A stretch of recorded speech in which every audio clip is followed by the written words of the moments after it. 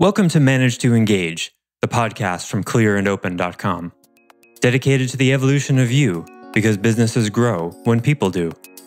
Serving leaders, managers, and people who will be, helping you reach excellence in your work and achieve your personal goals at the same time. Sign up for the free course at clearandopen.com. In order to make a case that there's no such thing as self interest, you have to be able to make the case that human beings, adults, are not always at choice. Because as long as you're choosing to do something, you're choosing to do it because of your values. And if you're choosing to do something because of your values, you served yourself. Hi, it's Josef, and thanks for tuning in to Manage to Engage, the podcast from clearandopen.com. Contrary to popular belief, the younger generation of employees isn't necessarily worse or as different as you might think they are.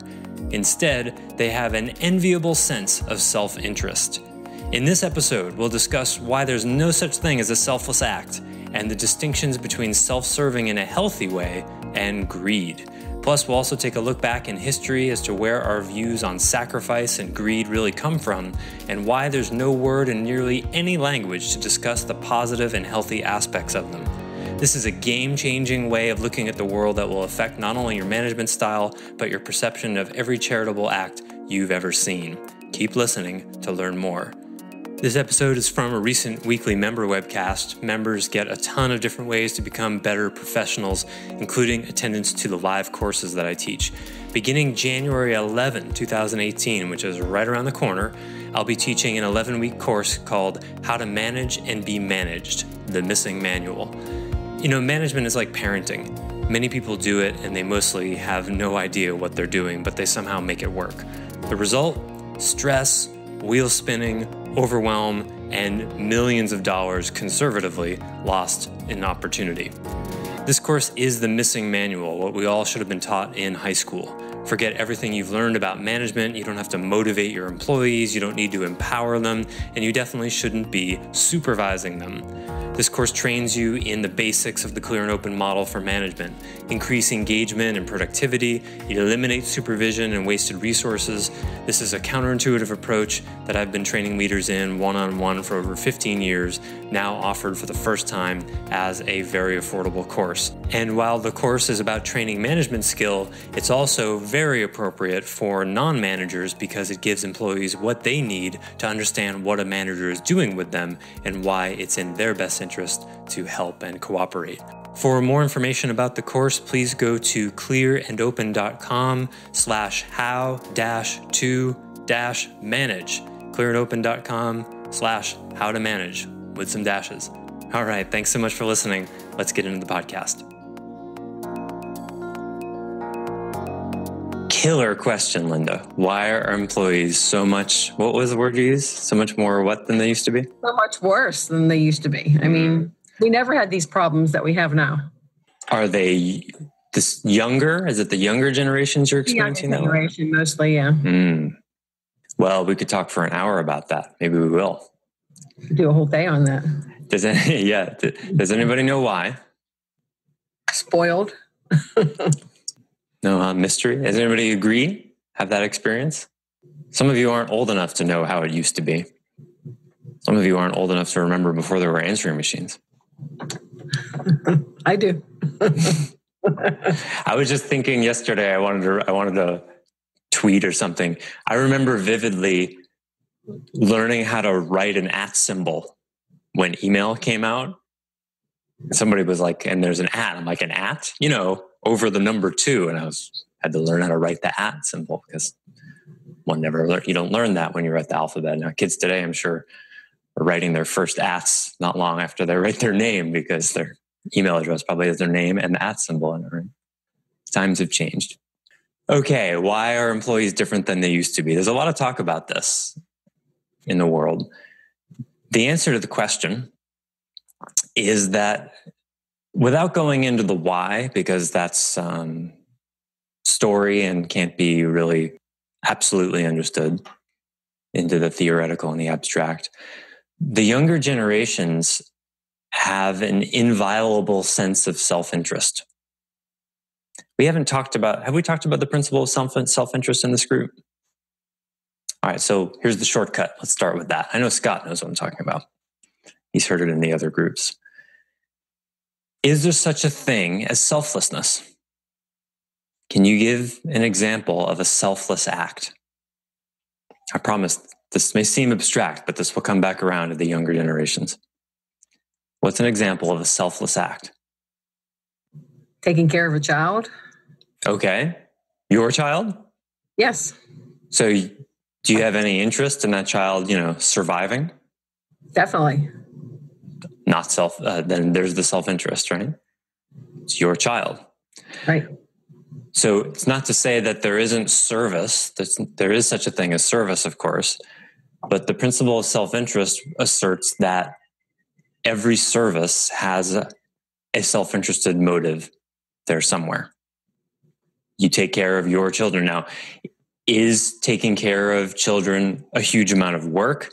Absolutely. Quite possibly the most difficult job in the world. Does that mean you're sacrificing your own needs? You chose to have the child. And even if it were an accident, you choose to continue to take care of the child. You don't have to do that. Other examples of selfless acts? What about a guy runs into a burning building to save a crying child, dies in the process? Is that selfless? He wanted to save a life. Unfortunately, his life was taken away, but he was doing a humanity way. So, where's his self interest operating there? You said when you say the phrase he wanted, that's the trail. He wanted to do it.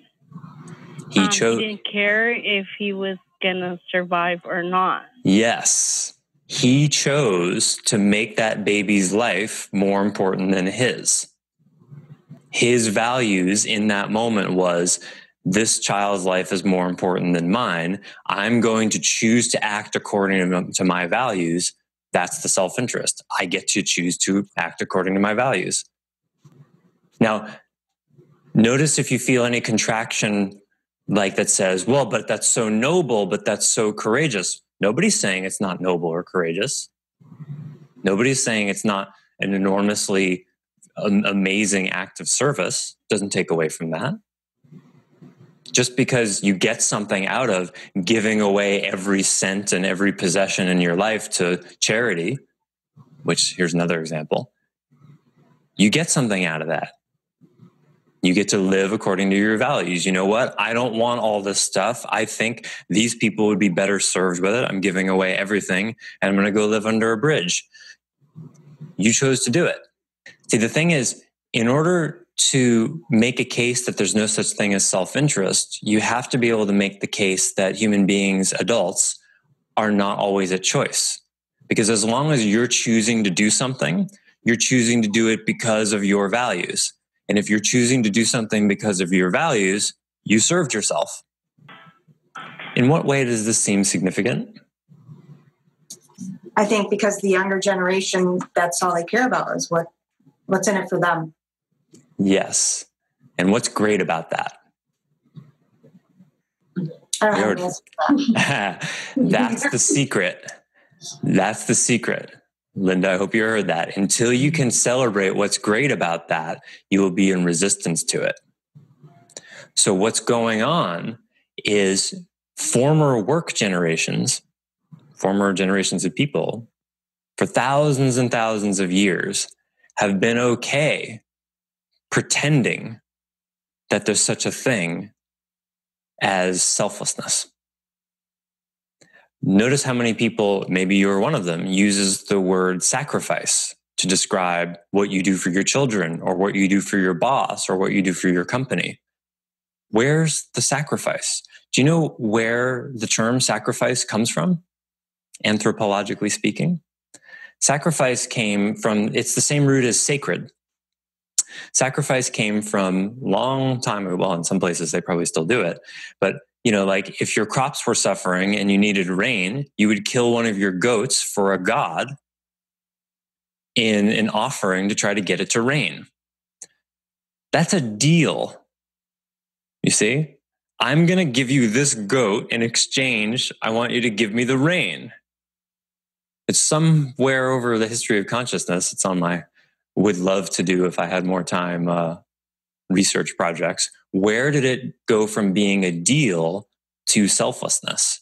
Now, again, is there's a risk there, right? In the the the tribal elder who kills the goat, it's it's it's a leap of faith in a way. There's a surrender there.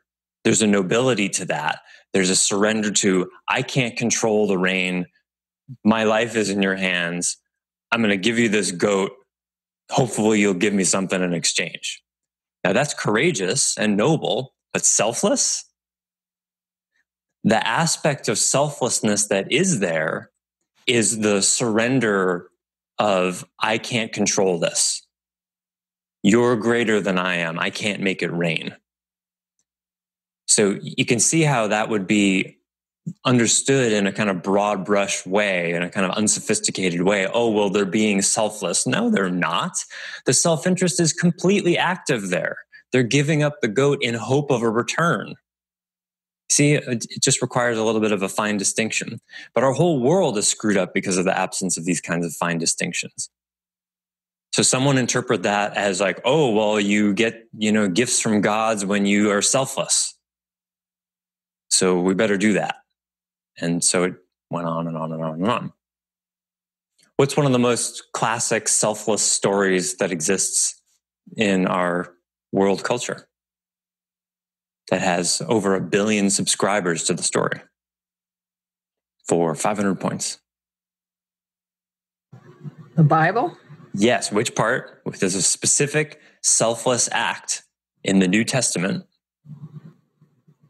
The only thing I'm thinking of is when um, the two women with the child went in front of one of the pharaohs, and um, they was going to divide the child in half. And and one lady who really was the mother said, "No, take the child."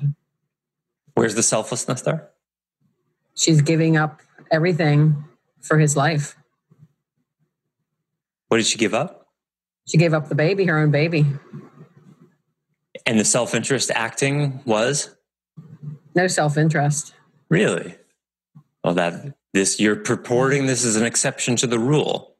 She said, I'll give up the child, just don't cut it in half. It's fascinating, by the way. There's the same story in uh, in Zen about a cat, two monks over a cat. Uh, it's a great story right and then what what happens then then the mother gets the baby right because she proves how much she loves and blah blah blah right so right. where's the, wh- where's the self-interest in that story self-interest? It was her own baby but she she made a choice. I would rather have my baby live yeah. instead of and give it up rather than have it die. Right. There's the self-interest. See how simple that is? Yet most people will look at that and go, oh, wow, what sacrifice, what selflessness.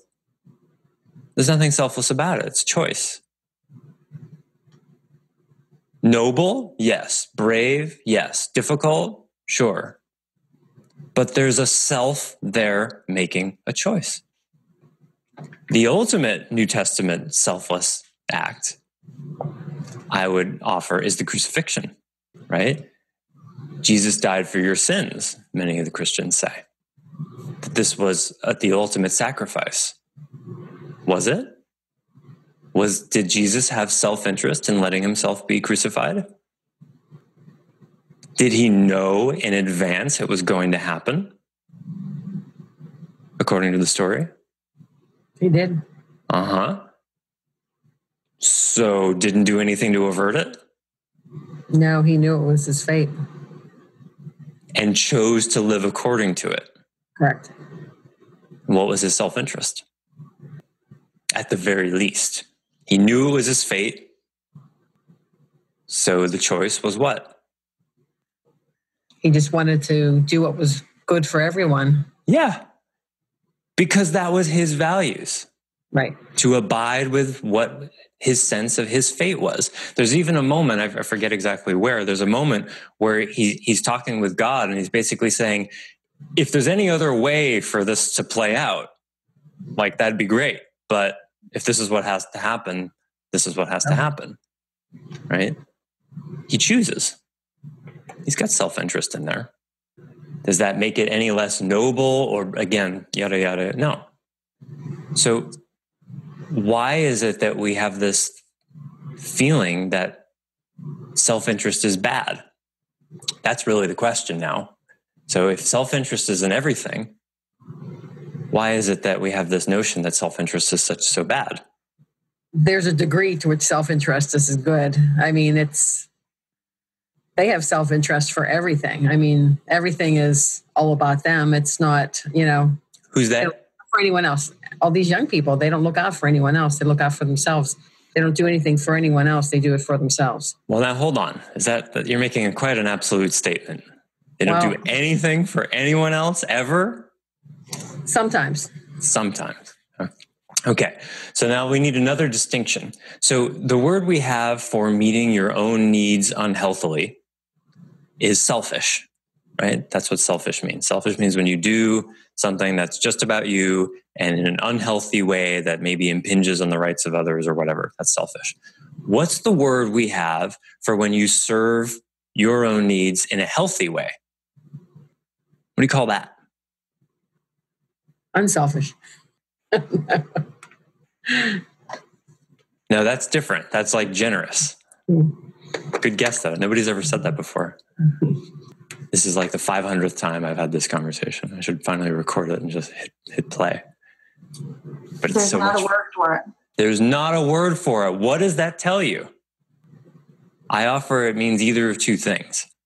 It either means that serving one's own needs is, in fact, a bad thing, such that we don't even have a word for it or we're so screwed up as an entire species about the idea of self interest that we don't even have a word for something that we do every day. You brush your teeth, you make sure you get enough food, you keep the right amount of clothing on your back, you get enough sleep. All of this is healthy self interest.